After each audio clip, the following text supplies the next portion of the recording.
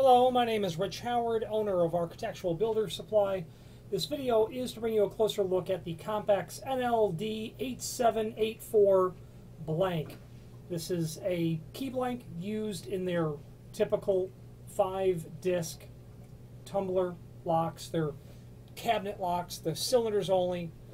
They're five disc, they're not pins, they're wafers or discs.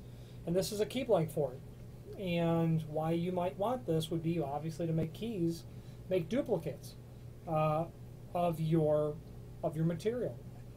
Okay, it's nice that CompX makes this blank available. This is an original factory CompX blank, same quality standards as all the other blanks that you would get.